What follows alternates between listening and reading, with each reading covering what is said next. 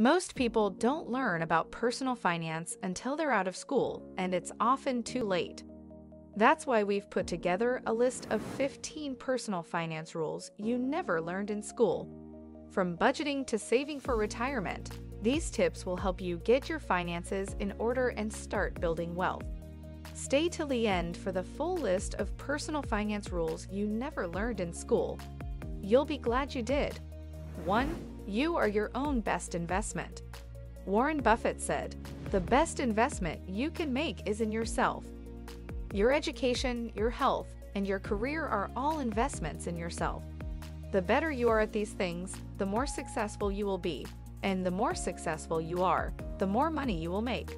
So if you're not investing in yourself, you're missing out on one of the best investments you can make. For example, if you're not investing in your education, you're missing out on the opportunity to improve your skills and knowledge. And if you're not investing in your health, you're missing out on the chance to live a longer, healthier life. 2. Money can't guarantee you happiness, but it can provide you with options. The pursuit of riches is not the most important objective in life, and being too motivated by it may even be destructive. We think that financial stability is something that everyone should aspire to. Having financial security can provide you with more choices and options in life, rather than being driven by a need to consume. With the help of money, you can choose to work less and enjoy your hobbies more. You can also choose to spend time with family and friends, rather than working long hours to make ends meet. Having the freedom to choose will have a significant impact on how you build your life. To quote J.D. Rockefeller, don't be afraid to give up the good to go for the best. 3. You need to have a budget. A budget is a key tool in taking control of your finances. It allows you to track your income and expenses so you can see where your money is going. Without a budget, it's easy to overspend and get into debt, Creating a budget doesn't have to be difficult. There are plenty of online tools and apps that can help you get started. We love to use pen and paper. That's old school, but it works for us. If you're looking for a tool to help you create a budget, we recommend a monthly budget planner. It's a great way to get started on taking control of your finances. Get the link in the description to see what we use. When using a budget planner, it's important to track your progress so you can make adjustments as needed. 4. You need to save for retirement. Retirement may seem like a long way off, but it's never too early to start saving. The sooner you start, the more time your money has to grow, and the more money you have saved, the more comfortable your retirement will be. There are several different ways to save for retirement, including 401k, IRAs, and annuities. Just be sure to do your research and pick the best option for you. 5. You need to have an emergency fund. An emergency fund is a savings account that you use for unexpected expenses. It helps you avoid going into debt if something unexpected comes up. We recommend having at least $1,000 in your emergency fund, but more is even better. If you can't seem to save anything, start with $500 and gradually increase the amount you're saving each month. 6. You need to live below your means. If you want to save money, you need to spend less than you earn. This allows you to save money and pay off debt. It's also important to live below your means so you don't end up in a financial crisis. If you're not sure how to do this, start by tracking your spending for one month. Then see where you can cut back. Try to find areas where you're spending more than you need to. 7. You should have multiple streams of income. Multiple streams of income are a great way to reduce your financial risk. If one stream dries up, you have others to fall back on. There are several different ways to create multiple streams of income. You can have a job and invest in stocks or real estate, or you can start a side hustle Check out our top 7 side hustles to make money video for more ideas about this. The important thing is to diversify your income so you're not putting all your eggs in one basket. 8. You need to get out of debt. Debt can be a major financial burden. The sooner you can get out of debt, the better off you'll be. There are several different ways to pay off debt. You can use the debt snowball method, where you focus on paying off your smallest debts first. Or you can use the debt avalanche method, where you focus on paying off your debts with the highest interest rates first.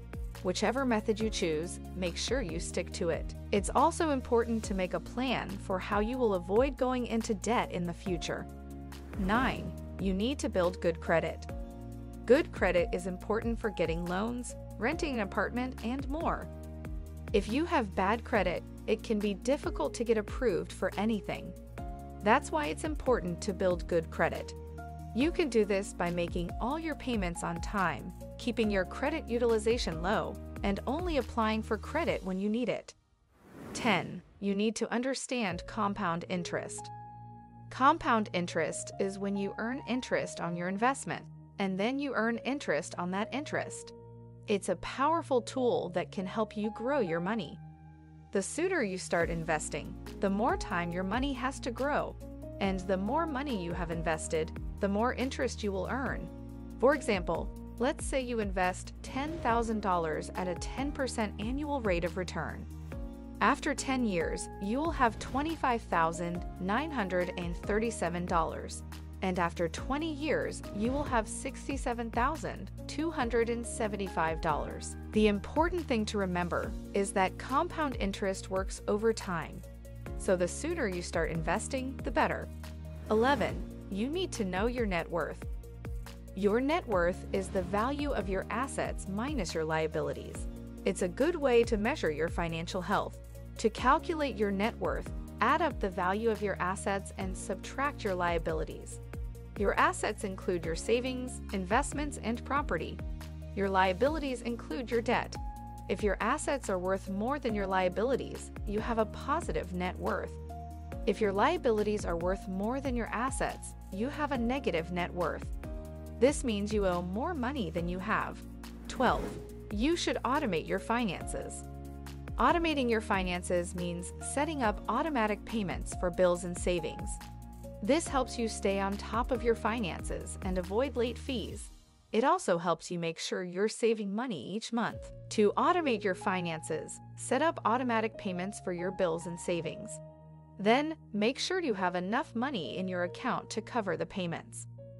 13. You need to have financial goals. Financial goals help you focus on what you want to achieve. They can be short term, like saving for a car, or long term, like retirement. Setting financial goals gives you something to work towards. It also helps you stay on track and make better financial decisions.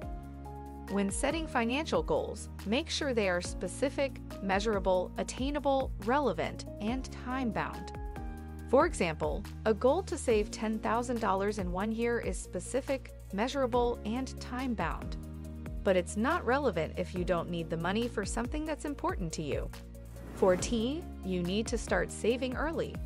The earlier you start saving, the more time your money has to grow. It's never too early to start saving for your future.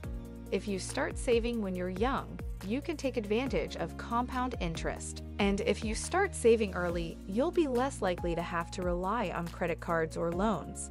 15. You should invest in a diversified portfolio. A diversified portfolio is a mix of different investments, like stocks, bonds, and real estate. This helps reduce your risk and gives you a better chance of growing your money.